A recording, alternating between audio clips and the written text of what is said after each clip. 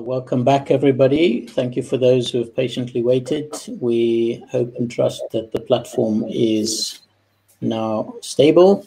And so we want to very quickly uh, get into the session. And I'd like to ask first uh, for a few short words from Zeger uh, Verkouteren, uh, who is the Vice President, Worldwide Government Affairs and Policy for Europe, Middle East and Africa and Global Supply Chain at Johnson & Johnson, as well as uh, being on the Board of Directors for the J&J Foundation, which manages the company's community impact projects. So over to you, Zeger, for a quick introduction. Thank you very much, Wayne, and uh, welcome everybody. Um, and really um, it's it's it's really exciting to see that there is a session on this summit around uh, SDG on health and well-being, such an important topic. And at Johnson and Johnson, we believe that we are made for times like these, but the current pandemic has made this notion a painful and unescapable reality to each and every one of us and touching every single dimension of our work and our livelihoods and at a scale otherwise unseen in our lifetime. So part of our work in public health, which has been very broad and long-standing, we're also committed to improving the lives throughout the COVID-19 crisis. And as the pandemic has placed a major strain on healthcare individuals and communities, but also beyond uh, the education, the jobs, and the wider economy, it could be not more pertinent to address these gaps and the way we approach systemic issues related to health and well-being through learning opportunities like this one today. And in this session, we will really attempt to break through the silos and make take this multi-level approach to resilience from the individual level to the community level, all the way to the systems level, exploring how they are intrinsically connected. Today, we're joined by leaders that are assessing these levels, proactively bridging gaps, and learning through COVID how to better build a more resilient world for all of us. So with this in mind, we welcome moderator Professor Wayne Visser and our distinguished panelists Sonja van Lieshout from Randstad, Céline Charveriat from the Institute of European Environmental Policy, Hilde de Man from IDEWE, and my colleagues from Johnson & Johnson, Marion Bernstill and Anouk van Hooijdonk. So over to you, uh, Wayne, and success. Thank you very much. And uh, I think we're testing all of your resilience as well. So if you're still with us, uh, we're delighted. And I just wanted to frame uh, the topic a little bit. So um, if we just go to the first slide, uh, it's important that we see resilience as a multi-level phenomenon. And uh, there's a picture here depicting social and ecological resilience. If you look at these aspen trees in Colorado, in Colorado when there is a, an avalanche, then in fact, after the avalanche, they stand back up because they are flexible, they're supple, uh, they don't break, and they're connected underground by a root system that supports each other. If we look at the second uh, um, level of resilience, if you could click for me, please then uh, we, of course, also have organizational resilience. And I just put a picture here of uh, one of the oldest organizations in the world, a Japanese organization that uh, dates back to 578 AD.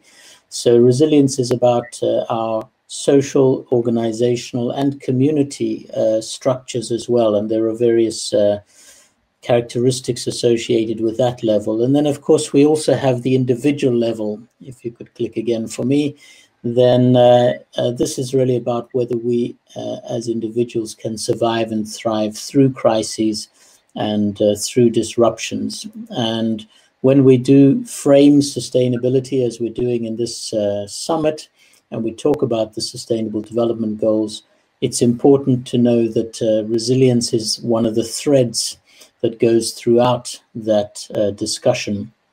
And we're going to dive, of course, into one element of this, which is uh, looking at health and well-being. And so uh, I'd like to uh, introduce our first panelist now. Um, if you could just click on for me.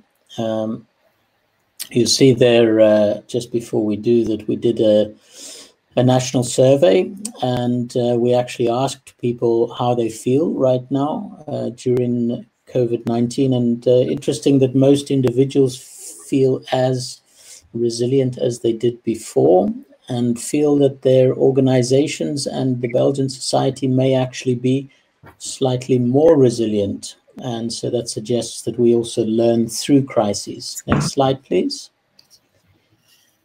Um, I just wanted to mention that we're doing work with Randstad, and Randstad is on the call today. Uh, uh, Sonia has joined us.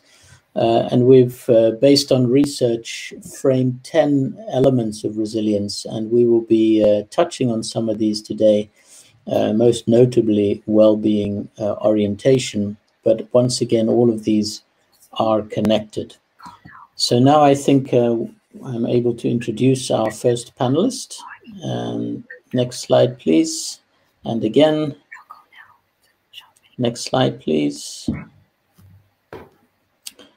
Uh, okay, we've got uh, a different order. So I'm introducing now Hilde de Man. So you may just have to check your slides there and queue, queue those up for, for us. Um, so uh, Hilde is uh, head of the Department of Psychological Wellbeing at IDEWE, um, external service, and she's been working in partnership with Johnson & Johnson to support healthcare institutions during the COVID crisis and her focus is on psychological well-being at work on an individual team and organizational level. So i know you have a few slides Hilde but really to kick us off my question uh, is how are people doing? At the individual level what has been the impact especially of covid-19 how are people coping? Uh, over to you. Thank you. Thank you wayne. Uh, I'll start my camera maybe. Okay. Um, well, uh, if we look back to the first wave of the crisis, um, it seemed that people were more resilient than we thought they would be. Um, I, I, will explain this. And I'm also convinced that we all learned now to respond in a more flexible way to continuously changing situations on the work floor. But I do am concerned now about the long-term effects of this crisis in developing chronic stress diseases. Um, what we did, we had um, maybe next slide. um, we um, we organized a community project with in partnership partnership with Johnson and Johnson, where we offered from um, June on, we offered free access to an online tool about stress coping for healthcare and to an online tool about anxiety. And we also offered individual online support and extra group support for teams in 21 elderly houses and youth welfare. And um, we also know that the support from team leaders and colleagues is rated as highly important in these disruptive times. So therefore, we also organized supervision with team leaders and made some tools to lead a team debriefing about resilience and coping and for giving individual support. Um, does anybody can hear me? Okay. um, well, what we learned, um, why was this project an extra investment help? Uh, was was this project and the extra investment helpful on the right time? Um, that we can conclude uh, out of a study in healthcare. There was a study in healthcare from the University of Louvain, uh, which which shows that acute stress reactions and hyper alertness and fear have decreased since April. But nevertheless, exhaustion, concentration problems, sleep deprivation, and unhappy feelings are already as high rated, highly rated as uh, in April. So um, one good story about resilience because the, the acute stress reactions diminished or decreased, but um, the exhaustion on the long term is now very high rated. And we also um, noticed that social support and, and, in the study and feeling meaningful in the job were outcome in October. And uh, another nice finding is that nice not not so nice but we we we had the finding that um, where 10% of the health workers thought they would need support from a psychologist in June, in October already 26 of the percent of the respondents said that they would need further help. So it is now time to give support to these people in healthcare. And the respondents also mentioned that they expected most of the support from their own team leaders. So it was good for us to help and support the team leaders in uh, in uh, in tools and give support to their for giving support to their employees. So what we um, can, can conclude is that the need for psychosocial support seems to be more needed now than in the beginning of the crisis. So, it was now the time to help. So Hilde, if I could just ask you then, um, so what have you seen? Uh, what's been working well, you, and and what's uh, what's not been working well? Okay, um, well, that's for the next slide.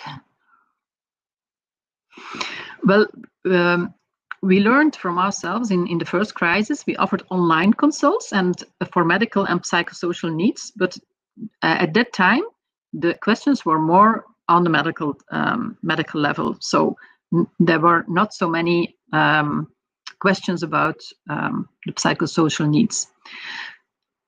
So there, we noticed that there was a threshold. So the threshold to reach out for help seemed higher than expected, as they they all worked now on, adrenaline and had no free time to call and experienced more support from their colleagues and friends at that time.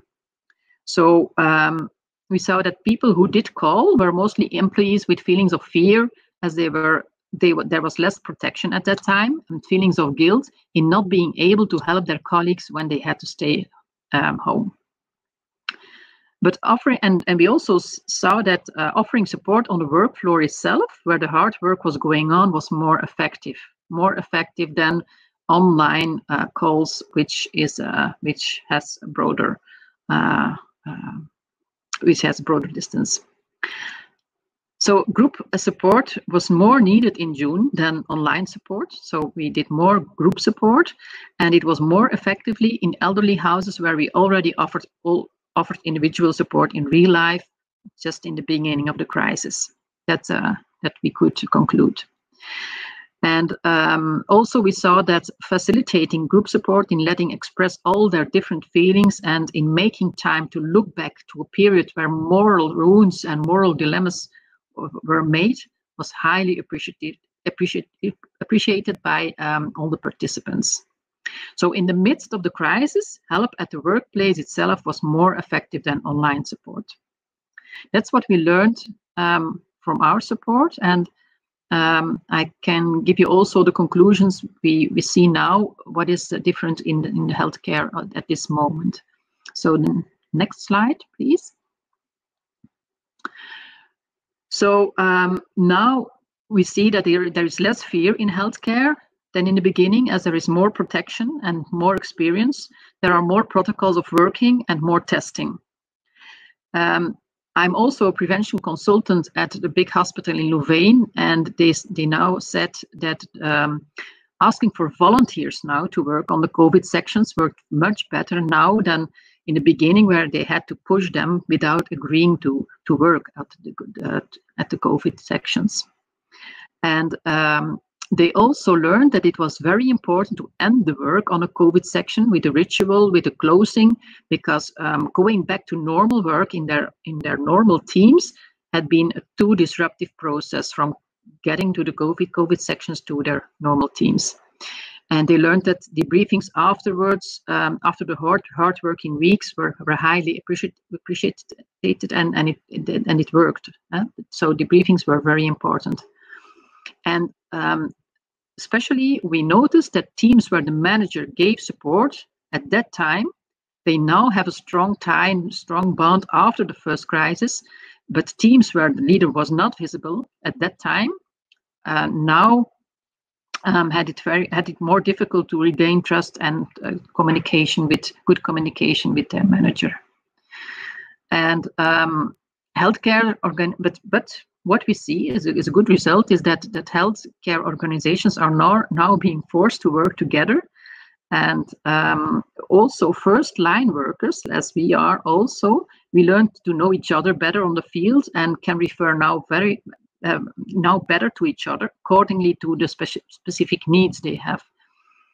And um, I also see that hospitals learn that psychologists psychosocial support has to be given nearby the work, workforce. And that's the difference we see now uh, at this time in the second wave. And uh, also a good result is that, that in no time we saw that there was a new website for all care workers.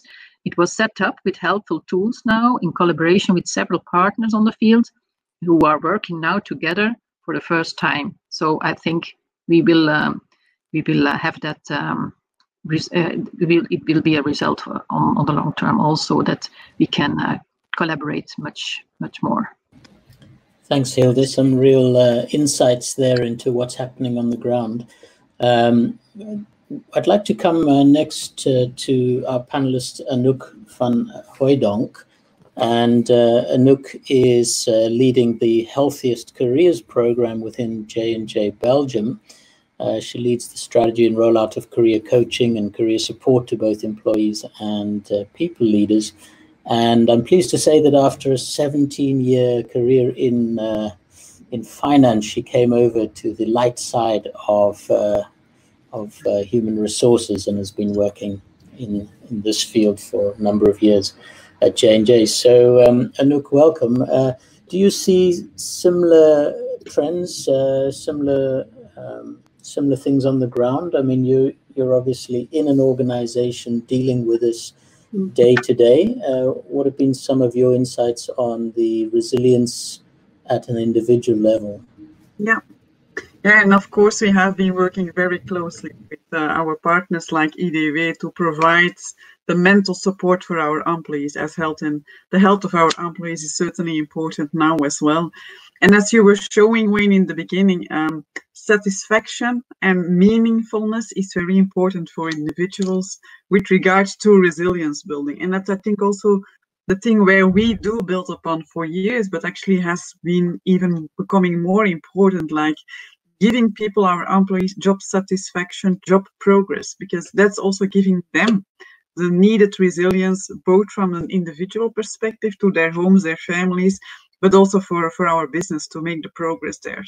Of course, we do have some hurdles to encounter. Um, because the workplace is changed. Many of us are working uh, from home, are not meeting their colleagues on a day-to-day -day basis anymore. Um, they are struggling to disconnect from work. Um, so I think there it's the question, how can we make sure if we evolve further on, how can we make sure that we really do change the way we work and how we work so people can balance that flexibility need, but also make sure that we can keep on uh, delivering our business and supporting there. I think another question, if we look towards job content and job questions, um, there the question is with all of the changes that we see right now and the acceleration of, for instance, like digitalization, what kind of jobs become obsolete and how do we prepare uh, people there? Uh, and then, yeah, another element maybe um, that we think that we see do is important is with regards to making sure sure that we do prepare our people for the future and learning these new competencies. Um, but actually, these competencies are coming in right now and people are just managing their day-to-day business. So how can we make sure that they also think about uh, about the future and not just uh, not just the here and now? And uh, also what Hilde was saying just what, how can we make sure that we do support our people leads because these are also just human beings having their day-to-day job but how can we support them to make sure that they can also build resilience in to, in their teams, which there is a big, totally different way of uh, working together. Um, some hurdles, but I think also a lot of opportunities. Um, and that's what you can see uh, on the next slides. Um, we were talking about flexibility, giving people different ways to work. I think the telework in the future can become one of our flexibility strongholds that we can give to our employees. And on the other side, also make sure that people can still connect with their colleagues. Um, and that's something that we will build on into the future. So how can we make sure that people can, if they come on site, that they can meet in teams and um, do that one-to-one connection. So because that's also from a resilience building, the social connection there is really important. Um, as we were saying, making sure that our people feel ready for the future. It's about also making sure that they have the right competencies. So there, we've seen now the opportunity to build and co-create together with uh, uh, some academic partners, but also with our business leaders to make sure that the people leaders are ready for the future. Again, it's exciting times to start this off, but uh, I think there is a lot of urgency now. So, and I think that's the opportunity that we do pick. Uh, also with exchanging um, the learning opportunities, uh, how can we make sure that um, we maybe exchange talents across companies, across academic institutes or secondary schools, so that we give new opportunities both for our own employees, but also how can we bring in new knowledge and new experiences. And I think again there, COVID has maybe pushed us somewhat further on. And um, I think also here, building there the new jobs for the future, it's it's a, a really nice thing. Um, what we learned so far is actually that giving people career coaching, starting people to think about their jobs, their careers, actually gives them more a better feeling on their own well-being as well as self-confidence. So again, now in these uncertain times and towards the future, we just need to make sure that we can hold on this uh, on this topic. And then just uh, yeah, of course, uh, it's not always easy for people to work in this new setting, in this new team. So we do support our also our teams with some tools, with some support in hybrid working, in virtual working, or the people who are on the site.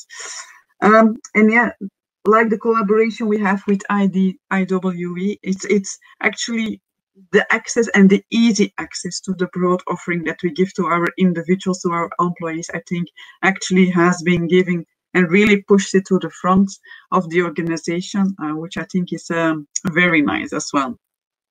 So maybe as final notes, um, it's on the next slide. We always talk about four dimensions, saying actually you have to learn, you, you work, you have to care, take care of people around you, and then take the rest. And I think it's about building that resilience it's different for everyone. It's giving attention energy to these dimensions who actually needs the right um, or, or, need more attention.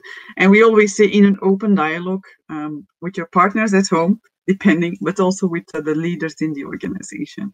So that's actually also the mo a model that we will bring more and more towards the organization to build that resilience and to build that actually engagements and work content towards the future Thanks, Arnold. Uh, some really uh, useful thoughts there. I just wanted to ask you, I mean, you're dealing with this now before the crisis, building yes. resilience, looking after people's job satisfaction and careers and so on, and you have these approaches. Um, and then now, in the midst of the crisis, what would you say is the main difference? I mean, what have you had to emphasize more now or really give um, uh, more attention now? And how, how are people coping differently? I think it's, I think maybe it's two things. First of all, the acceleration of things will change, change, jobs will change. We will need new competencies, so we have to act now to be ready. I think that's certainly one, and I think the other one is it's this picture, eh? balancing the. I think COVID has learned or pushed us in giving more balancing out all of the different dimensions responsibilities that we do have as, a, as an individual uh, in society in our organization as part of a family. Okay thanks very much. I'd like to bring in um, marion bernstill now and uh, marion works also for johnson and johnson but for the foundation uh, across europe middle east and africa and she's uh, advocating for new ways of partnering with the belief that uh, collective action and impact approaches are needed to drive transformation and systemic change. She's also been exploring how best to invest in resilience at individual, community, and health system levels uh, to shift from curing bad health to sustaining good health. So, Marion, we, we're shifting a little bit now. We've looked quite a bit at the individual, but of course, resilience has to happen at the community level as well. And uh, there are different ways also to approach community health. So could you share some thoughts with us uh, of, of what you're doing, what's working, what what's not working? Thank you. That's great. No, um, big thank you for um, holding space for that multi-level perspective and really to start holding space for complexity and thinking about the individual level, the community level, and the system level. They're so absolutely interlinked. And before I start, may I ask that we remove the slides? I actually don't have slides, and as much as possible, I would love to see you all. Um, so I think it's no surprise for uh, quite a few of you that currently we have 400 million people that have no access to health services at all, and 2 billion people that have only very limited access to basic health uh, services. So the foundation's belief is really that community health and primary care are really the cornerstone of a resilient and strong health system. But as we heard before, uh, there's no health system without the health workforce. And that's really the key for the future. Um, and currently, we still have a lack of 18 million health workers that are missing uh, by 2030. And we get a sense that health systems have been historically designed to keep, um, they've been really designed to respond to disease and not keep people healthy. Um, they're not really designed yet to reach out to people um, and that's really the opportunity of community health. And if I have to take a bit of a metaphor about what we see as the opportunity of community health, I would say there is a little waterfall metaphor and analysis that um, is the introduction to a book called The Upstream Doctor. And the analogy is the following two doctors at the bottom of a waterfall trying to save children from drowning and they keep pulling the kids out at the bottom of the waterfall until one of them says, I will go at the top of the waterfall and see why kids are falling in. And that's a little bit the opportunity uh, that we see that that's the belief behind community health. It's a mean to foster more resilience, to go more upstream, and to shift our perspective to one that is closer to people, that is that are health services that are closer to home, uh, more holistic, more human-centered, more grounded in that belief that um, we can nurture resilience as opposed to curing disease, empowering people as citizens to own and manage their own health as much as possible. There are many opportunities around community health for us to learn from a kind of reverse innovation quite a few countries across sub-Saharan Africa um, are best practices and have been establishing community health delivery model. Uh, Ethiopia is one of them, Liberia is another, and there's a lot of opportunity for us to learn what would it take and what are the design principles that are behind community health. There are also a lot of economic modeling that have come that, that have um, come to the forefront lately making the case for community health and seeing that $1 invested in community health means $10 saved for the health system. By being more upstream, we find ways to make the system more financially viable and more sustainable. If I want to take an example of um, what would a community health model look like, one that we have been um, engaged with is um, Mental Health UK, that is that has been for quite a few years piloting uh, a model of community mental health navigators. And these are people almost like coaches that target severe mental health patients and really look at their holistic resilience, looking obviously at their mental health status, but looking at their physical health, their housing situation, employment situation, and financial capability situation. What what uh, we see is that severe mental health patients enter less in crisis, they're less in hospital, and they really um, have a positive trajectory to, towards increasing their health outcome. And at the same time, what we're trying to prove with this model is that there are an economic benefit to the health system. And through such community uh, health models, we really manage to alleviate some of the burden on the health system. But there's obviously a lot of the gaps that are left out there. Um, one of the gap is we don't know what we don't have enough visibility on the community health models that um, that are proven to function. Uh, there's quite a few models out there, but we really don't know which one are the ones that work in mature markets. How might we go about establishing community health as a way to task shift a lot of the um, a lot of the service delivery out of the primary care setting? Uh, we also lack ways to codify what works. Why does it work in a rural area versus an urban area? Can we find design principles that make us understand what community health models are all about and what makes them work in one setting versus another? And finally, I think that there is a big gap in understanding the financial case for community health across Europe. How might we start articulating, obviously, what are the proven models but these models that have proven to improve health outcomes, can we put some figures and some economic modeling understanding how do these models actually uh, provide economic value to the, to the broader health system? So as you see, there is really a shift in the value that we place in health, shifting away more and more from the kind of hospital setting to the home setting, shifting more and more from the disease perspective to the resilience perspective, um, and the delivery model is also changing, and COVID has really accelerated uh, some of that. It has really brought us to, as painful as it was, to hold each one of us accountable and make us responsible for managing and owning our own health as much as possible, but also demonstrated the importance of having hyper-local community health delivery system that were way closer to home and were more uh, effective. We also saw opportunities for pharmacists to play a role as community health providers in some countries. So there are quite a few models out there, and we have yet to understand what are the best ones and how do we approach them? How do we make the case? And that's a little bit why I want to commend today's conversation, as difficult technically as it was, to really hold space for having a difficult conversation to which we don't have the answers but at least we start raising the right questions. Thanks very much. I'm going to come in a moment to Celine, but I just wanted to ask a follow-up uh, to you uh, very shortly, Marin.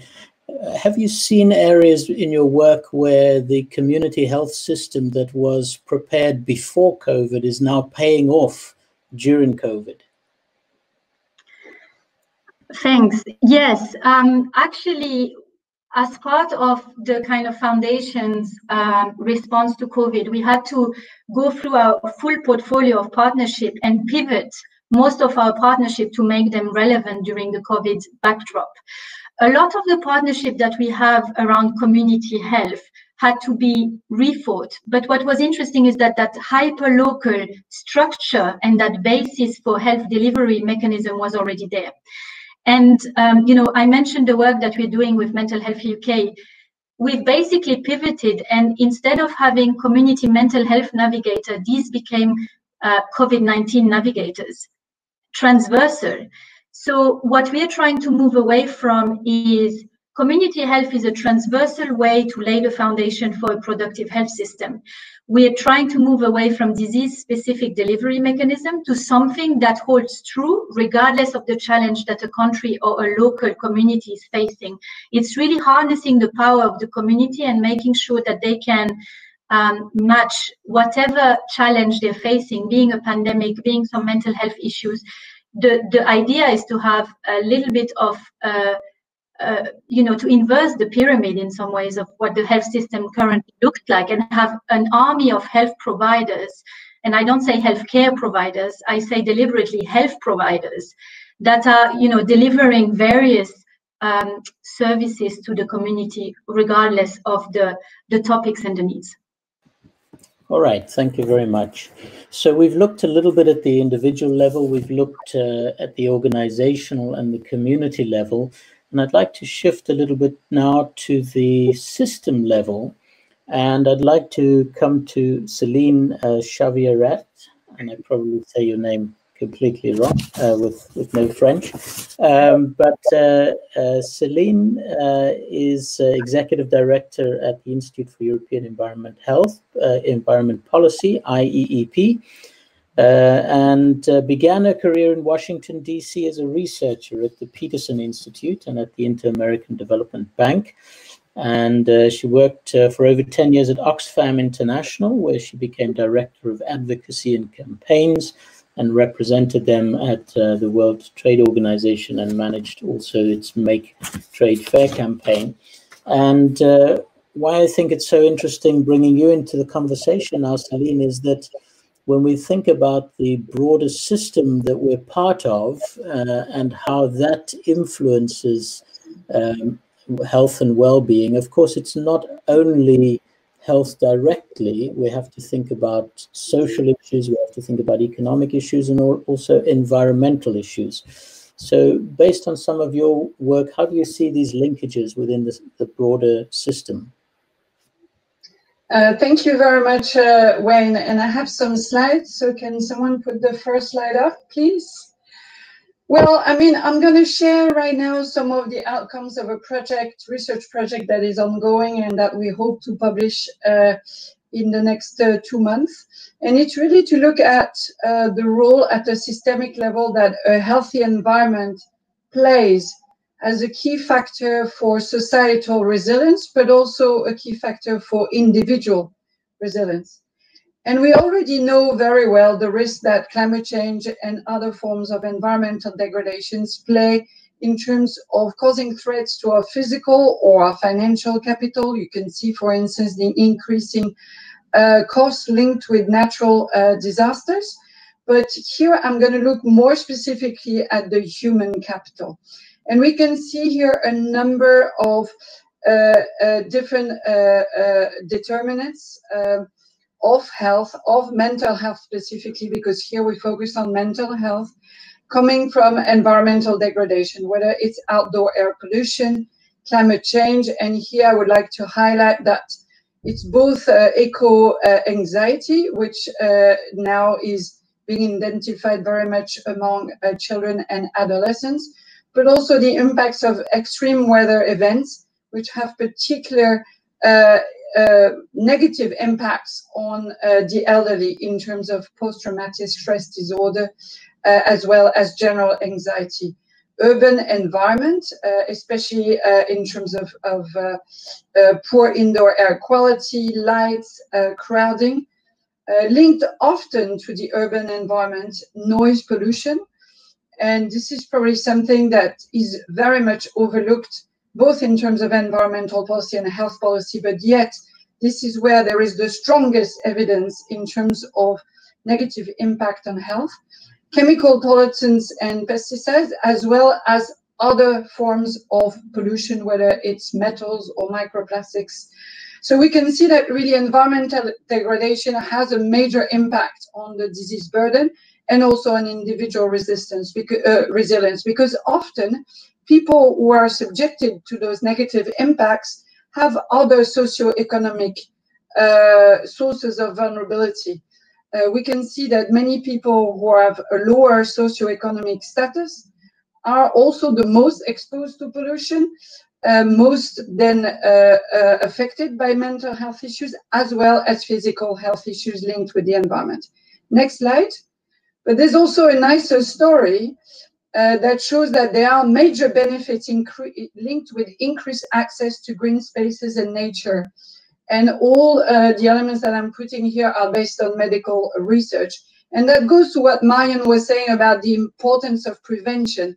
And I call this nature as a preventative medicine or as a, you know, a promotional health um, uh, measure. And you can see reduction in chronic stress, increase in self-esteem, reduction in self-reported anger, positive contribution for treatments of depression and anxiety, increase in community cohesion. And the last element is that we see that there are very specific and concrete uh, impacts specifically for children and adolescents, and especially in low income uh, status segments of the population.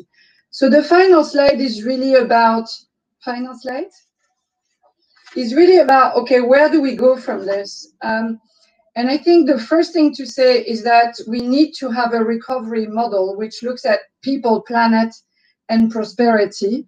Um, and that creates resilience by design in a phase of continuum of crisis, because we will have health crisis at the same time as environmental crisis, and unfortunately very often at the same time as an economic or financial crisis, which means we need an integrated approach for economic, social, including health, and ecological resilience. It's really important within recovery plans to put investment to create a green care economy, which both uh, enhances well-being as well as uh, allows for a healthier environment and planet. Putting the furthest behind first, because I said they have compounded vulnerabilities and as well as lack of access to green space is really important. Progress towards a toxic-free environment as a key pillar of the European Green Deal so that there is less uh, instances of uh, dangerous chemicals being released into the environment. Restoration of ecosystems as a way to build uh, uh and, and, and regenerate uh, nature and uh, facilitate access to uh, everyone, but including uh, those who have uh, health problems. And then last but not least, um, there is a big discussion about what constitutes good economic, social, and environmental performance by member states. And it's really important that in the European semester, uh, which is the process uh, that we use to assess this good performance of member states, we look at the sustainability scoreboard. And in our view, that should include both well-being as well as environmental indicators, which for the moment are lacking. Right now, we mostly have health, but very classical health, I would say, indicators uh, and uh, pure economic indicators within the semester. Thank you. Thanks, Celine. I just wanted to follow up with one question. I mean, I, I wonder how you see it, whether you think COVID 19 will be a positive tipping point for us, taking into account many of the environmental issues, or is it going to go the other way? You've already pointed to some uh, some paradoxical effects. I mean, on the one hand, I think many people have actually got back in touch with nature during this time, during lockdown. We've seen nature bouncing back in many instances, clearer skies, clearer waters, uh, wildlife coming back into cities.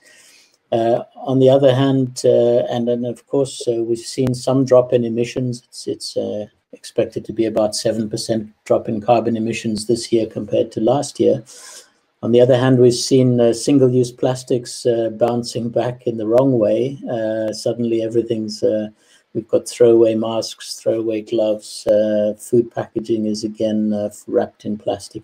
So I'm just wondering how you see it. Do you, do you see more uh, that it's uh, actually getting us to really rethink uh, our, our relationship with the environment, or uh, is it having the opposite effect? Well, I, I certainly think that uh, overall uh, it's really getting us to rethink our relationship with the environment. And as you pointed out, I think in those countries where confinement meant that people had no longer access to nature, this was felt particularly, uh, it, it really created a lot of suffering. And I think people, as soon as they were able to go back to nature, had this instinct of going back to nature. So I think that's very positive. But clearly, in a recession context, uh, what is usually uh, stopped first or put to side first uh, are, you know, what are perceived as long, long-term threats, which of course we don't believe it's a long-term threat, it's a present threat in terms of environmental degradation. So I think there's a risk that in the name of restarting uh, growth, lots of brown uh, investments or neutral, but certainly not green, will be prioritized as part of recovery plans. And unfortunately, uh, the, the, the initial evidence we have is that you know we are not bouncing forward, we're bouncing back, and we're bouncing back to pollution and to fossil fuel uh, use, which clearly uh, we we think it's the wrong way to go because we don't have time anymore, given what science is telling us, to bounce back before we bounce forward. Yeah, it's going to be really interesting, isn't it? Whether we will have a green recovery. I mean, certainly we've seen with some of the fossil fuel companies uh, like BP uh, saying that they will produce 40% less fossil fuel by 2050. That's partly as a res result of COVID 19, they say, and the demand for oil going down and also the demand for renewables going up right now. So it'll be one to watch. this is part of a, a, bigger system, of course, and I'd like to come to uh, uh, to Sonia van Lieshout now.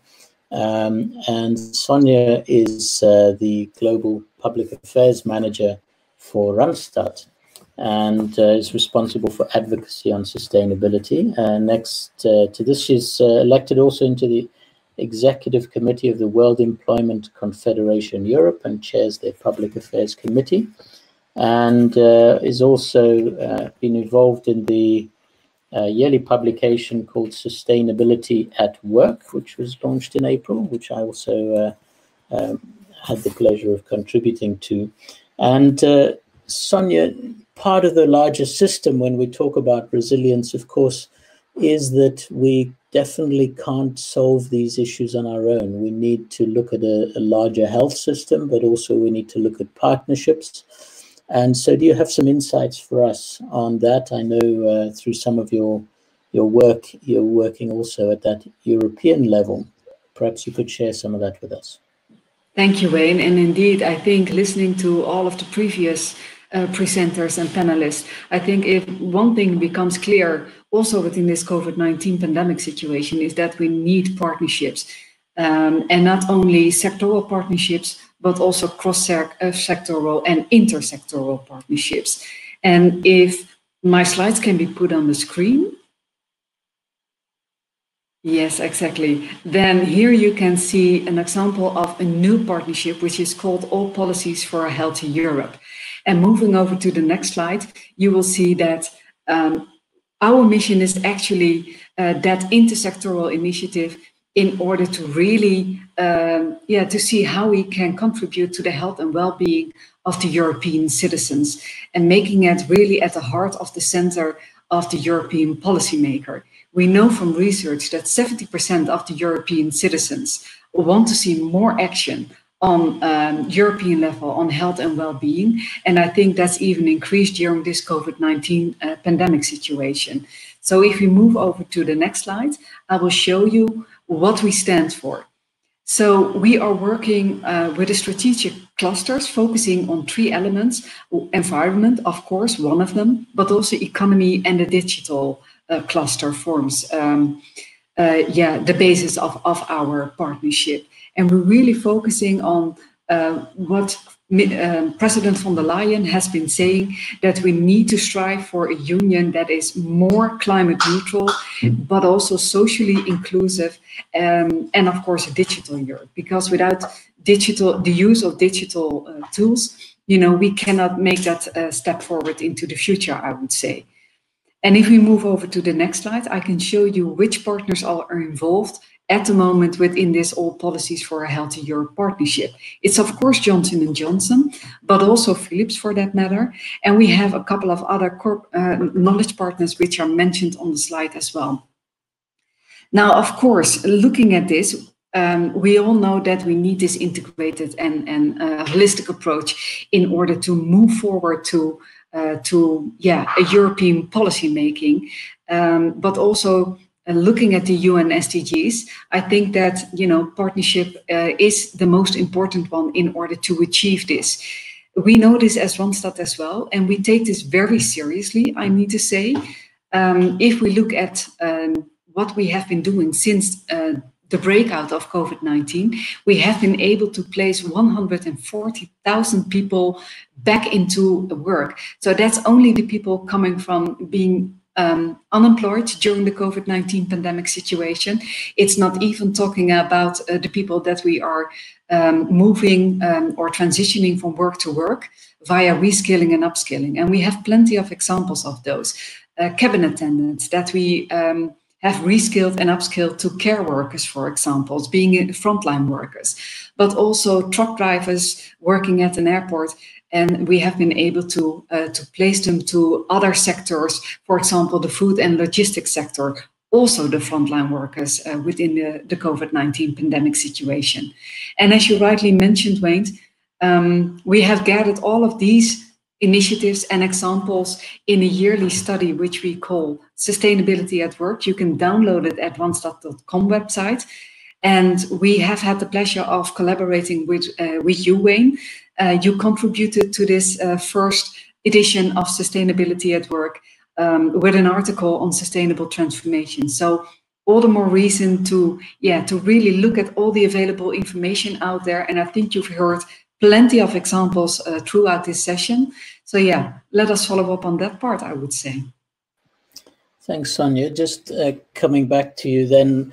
Um, you're emphasizing partnership and we're at an SDG summit. And so actually a question to you, but also to others on the on the panel is uh, we're leading uh, this session obviously uh, with SDG 3 on health and well-being, but uh, where do you see the other linkages to the other SDGs? Uh, uh, I mean, you've given us a nice example here now, so how how are we starting to make this uh, both the partnership and the collaboration and the the systems thinking perspective uh, real through collaboration? Uh, what are some of the other SDGs you see the links with? Well, I can only talk uh, for my own company, of course, uh, for that matter. But if I look at Randstad, we adhere to the SDGs number four, number five, number eight on decent work for that matter, but also number 10. Um, and I can uh, tell you that we are well aware of the fact that this is a joint responsibility. We cannot do this alone. We don't even want to do this alone. So this is all the more reason why we entered um, the All Policy for a Healthy Europe Alliance, because we are truly aware of the fact that only if we can work together, we can create that sustainable future for all of us and um, a sustainable and inclusive future, I should say a world where we can all thrive in. So for me, partnerships is the linking pin to all of the other SDGs for that matter. Okay, thanks. So I'd like to open up uh, to the rest of the panel again. And um, if any of you would like to jump in with a, a comment, otherwise I'll come to you individually. Yes, uh, Marion. Yeah. Sorry. Yes, I think the, there is a, also an intimate link to poverty and health inequalities um, it's it's extremely linked and tackling health cannot be tackled in isolation we need to think about people's livelihood and we see that with the covid situation right now um, the second part is to be systemic we need to keep zooming in and out and i i'm not sure that we always have the best capacity and tools and methodology to think through systems and to think through what does it take and what are the best models to galvanize and mobilize collective action and collective impact. So there, there, there are also gaps on the how, what are the best model and governance model for um, collective action and collective impact based partner, uh, partnership and what are the tools and methodology for all of us to think and zoom in and out of a system being health or as we see here more broadly interconnected um, and that is a little bit the difficulty of holding the space for those conversations. There is a, uh, quite a few levels of complexity, and there is always a temptation to go broader to be holistic but at the same time we all need to remain focused on onto our um, you know delivering the impact so i think those are probably skills and uh, skills for the future that we all need to acquire and we need to be better equipped to think holistically and to think systematically Okay, thanks. Uh, Hilde, any, uh, how, how do you see this? How do, how do we make the links? I mean, you, you're focused a lot at the individual level, but obviously this links to the community and the system level. Um, how do you see that?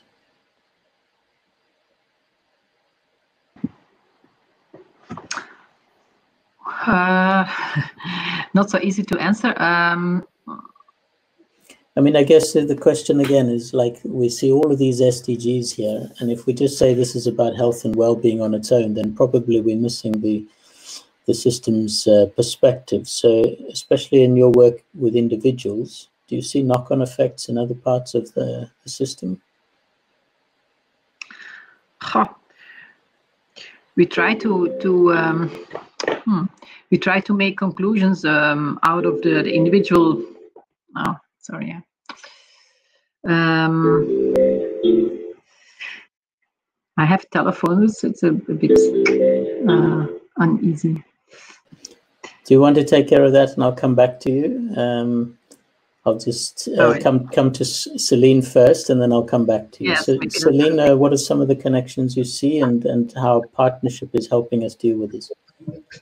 Um, well, I mean, we we see uh, from from our end a lot of connections between what we would call the the well-being or human-centered SDGs, and obviously the environmental SDGs. And the way we look at it is by looking at how can we still ensure well-being while drastically reducing uh, our material footprint. By 2050, we estimate that we need to reduce the material footprint of each European citizen by 80%.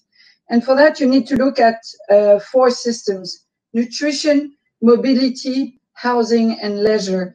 And are there win-wins where a specific action would be positive both in terms of well-being, but also reducing uh, and the environmental footprint. I think there are many of those in uh, nutrition.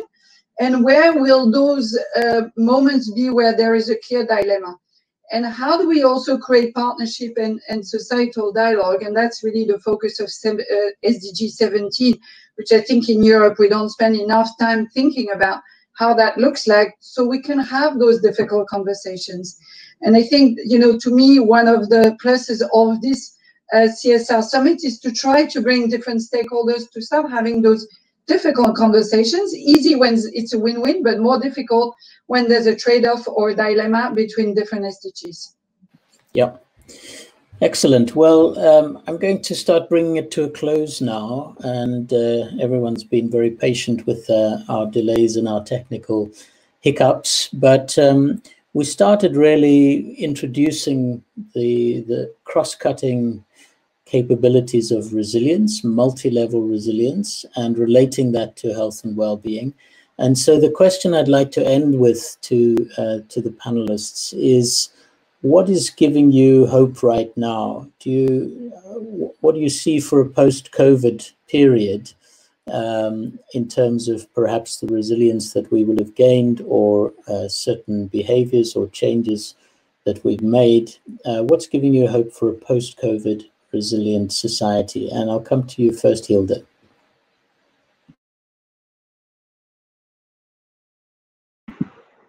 Thank you, Wayne. Um, my hope is that team leaders will continue to pay attention to emotions, resilience, and stress coping as they experience now in the crisis the, the benefits of going in a one to one dialogue with their employees about these reactions and um, of organizing also group support. We hope that they have really felt that these efforts can result in a much stronger connection with their team now, and that this kind of attention will have effects on well-being and on, on team resilience on the long term. So that's my hope that um, team leaders will will pay attention now to that uh, part of of uh, what is what is happening in with us uh, in times of crisis. Thanks, Hilde. Uh, how about for you, Marion? How do you see uh, hope post-COVID? I think there is a strong momentum uh, given uh, through COVID to hold space for that complex conversation. And the tension is going to be to allow for the short-term needs that COVID is bringing to the health system and the need for firefighting truly against the spread of COVID but at the same time to really make sure and I, I get that feeling through various conversation on building forward better that we need to invest now in the long-term transformation. So i see signal that the firefighting doesn't really eclipse the long-term transformation and the needs for long-term thinking. So that really creates a lot of hope. It's going to be a long road ahead but if not now when so I think we really need to start build the transformation today and not let ourselves be completely taken in the in the firefighting. Thank you. And Celine, how do you see this? Well, I think what, what gives me a, a, lot of hope is is obviously this crisis has has brought a lot of suffering, but it's also shown that there is a capacity for resilience and that there is also an enormous capacity for innovation uh, within communities uh, because when all the systems started to break down or at least not function in the way that uh, we were used to, I think we saw many uh, wonderful initiatives and also sometimes people feeling that there was more cohesion in their community in the face of those crises. So I think we should be building uh, on this um, on this empowerment, so to speak, that uh, many people have probably felt uh, during this crisis, and and also this confidence that we can innovate and react and reinvent uh, ways of working, ways of living, uh, which actually would contribute to well-being rather than uh, reduce it in the end. Wonderful. And uh, Sonia, to you. Yeah, my hope for for you know uh, post COVID nineteen situation is actually that we can build upon the resilience that we have seen within that COVID nineteen pandemic situation, which we are in right now. I mean, many of us never were, um, never experienced a crisis situation before, not you know to the to the scale of this size. Um, so hope we can build on that uh, resilience that we have showcased during this pandemic situation, but also really moving forward to that integrated and holistic approach in order to uh, to get to the ultimate goal, which is health and well-being of all, of course, because only if we are healthy uh, and feeling well, we can, you know, contribute to a well-functioning society and thrive uh, at last. Well, thank you all. And from my perspective, I also am hope, hopeful, uh, largely because of uh, studying complex living systems. And when I see uh, how the how they work and how they behave, when we have such connected systems like we're part of right now uh, in society and with the environment, uh, when we do get shocks to the system, of course, they they can tip us into breakdown, but also into breakthrough. So I really echo that innovation message. Uh, I've seen an incredible amount of innovation during this period, but I'm also hopeful because you know uh, the butterfly effect means that small changes in the system, which are happening now, um, small behavior changes, small changes in the way we think and the way we see the world, will be rippling through the system for years to come. And we actually don't know uh, how that system will change, but we know for sure that it's going to change. And I believe many of those will be positive changes. I think it will speed our transition to a, a better, more inclusive and a more sustainable world. So uh, uh, we're going to end it there. Thank you very much for uh, participating. To all the panelists, thank you. Um, and to all the participants who uh, resiliently hung in there with us, thank you also. And I wish you all a good day or a good evening, wherever you may be. Thank you, and we'll end the session now. Thank you. Bye-bye. Goodbye, everyone. Thanks, Wayne, for moderating us through this.